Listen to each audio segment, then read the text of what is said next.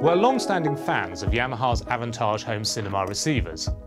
And this year the range is five strong, with prices from 500 to 1,000 pounds. The RXA 850 sits just above the entry-level A550 at 900 pounds, and it nails the balance between price, features and performance. As well as packing some very clever tech, more on that in a bit, it also goes big and loud.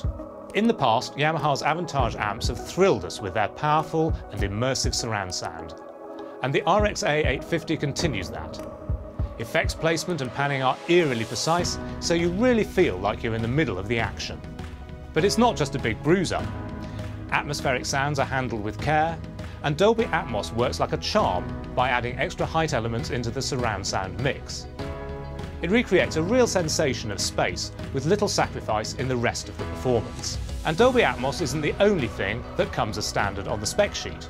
You get all the connectivity needed to make the AX850 the hub for your home entertainment setup. You get Bluetooth and Apple AirPlay for wireless streaming, and you also get Yamaha's own MusicCast wireless multi-room system. It's designed to let you create a multi-room setup using a wide variety of different kit, and the really clever bit is that all MusicCast products can send and receive Bluetooth signals. What that means in practice is that you can use non-MusicCast products as part of your Yamaha control system.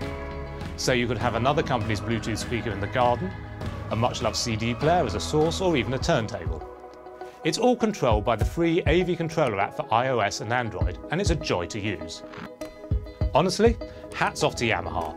For less than a grand, you get all the bells and whistles you could want, a sturdy and well-finished piece of kit, and excellent performance. The inclusion of MusicCast and Spotify Connect is the icing on the cake.